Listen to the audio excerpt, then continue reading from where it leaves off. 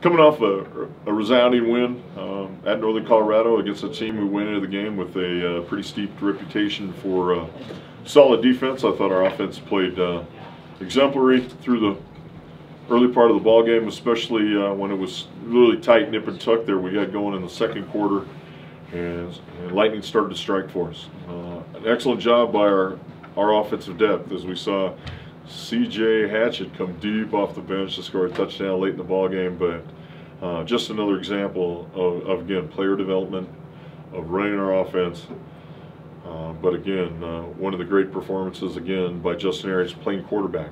He doesn't necessarily have to be a thrower. He can win games by handing the ball off. And literally, when Northern Colorado opted to try and play pass defense on every down, the running game was going to be there.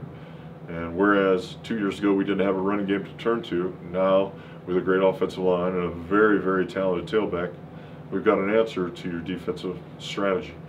And overall, uh, it's our best game defensively scoring in quite a while. In fact, Steve told me since 2002 that we've held an opponent to 12 points. So uh, a, a, very good job by us uh, throughout the whole day. I'm a little concerned about the way things started there in the third quarter but uh, offense responded. We got a measure of distance, and defense settled back down and made some plays. So uh, overall, we're in the ninth game. So we're a little bruised and battered in certain spots, and we'll have a number of guys available that haven't been available, and we'll have a number of guys unavailable that have been available. Uh, the mystery will be who are they and when will I let you know? And that'll be about uh, 4:35 Pacific day, daylight time on Saturday down in Portland.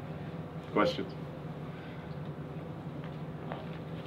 I'm more Portland State, tell us about what. what Portland State's uh, a football team that has gashed us with the run uh, four, three years in a row. And they've gotten over 400 yards, well, 390 some yards last year running the ball. And we've got to find an answer to their running game. We have got to know that we're not going to be able to stop it, but we've got to be able to contain it and not allow them to develop long plays or long drives.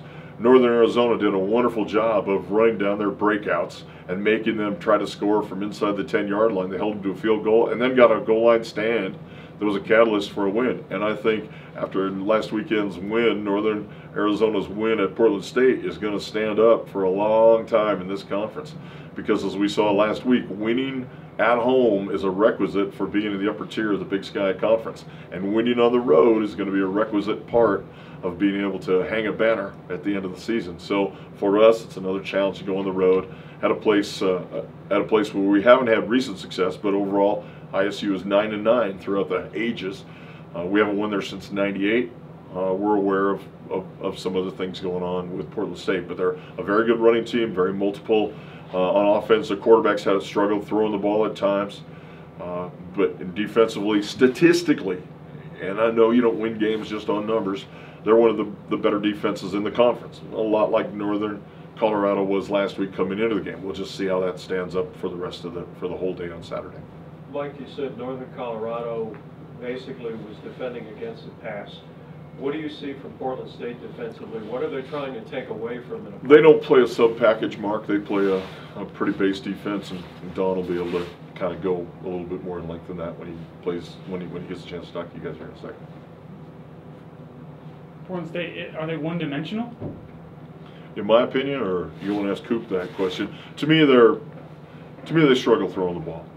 And they tried to, and last week they, they hit a couple big passes. They they would like to be balanced, but they're they're not able to get there. Quarterback's not as accurate as they as I, I think they wish they'd be. He's a good runner, but he's not as accurate throwing the ball as he as he can be.